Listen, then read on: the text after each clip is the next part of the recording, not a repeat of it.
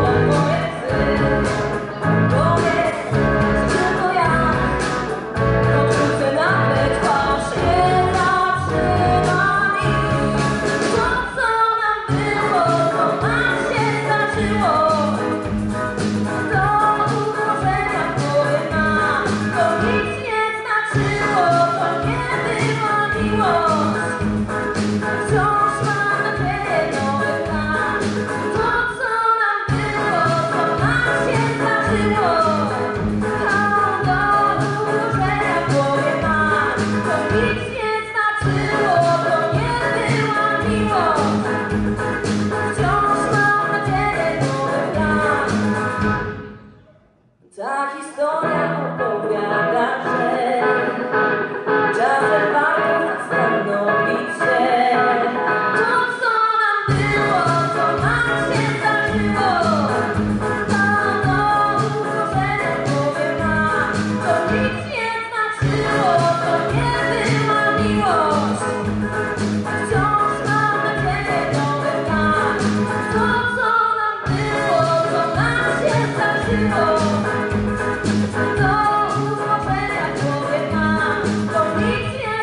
Yeah.